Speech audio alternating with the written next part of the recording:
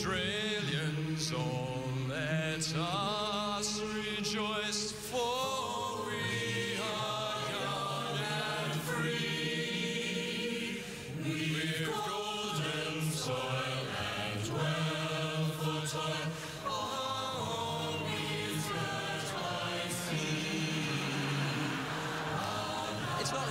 most inspiring national anthem in the world, is it? Doesn't make you want to just get up and sing it loudly and proudly to people around the world, even with a choir behind me. I mean, these guys are fantastic, but no, I'm sorry, guys. Sorry, it was lovely. It's been nice up until now, but you were great. You were fantastic. It's just not the most inspiring anthem in the world, is it? The words are all right. Australians all let us rejoice, for we are young and free. Except for that line, our home is girt by sea. Because girt means surrounded. Like, how many people here have ever used the word girt in a sentence in your life? Seriously, you've never seen a police siege and four officers outside a house going, Come out of the house with your hands in the air. We have you girt. These four blokes inside going, What?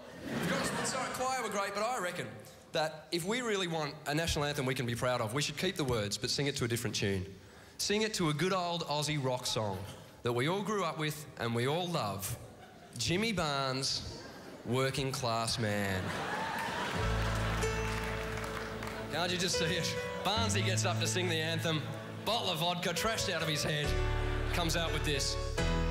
Australians all let us rejoice, for we are young and free.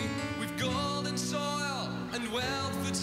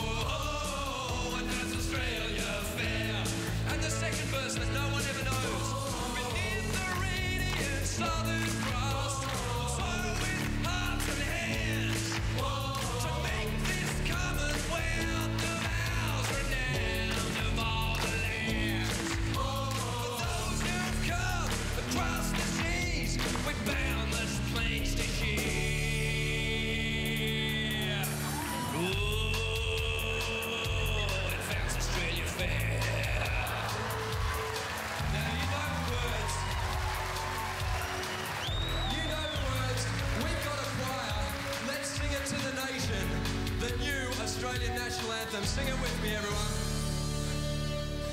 Australians all let us rejoice. Come on. For we are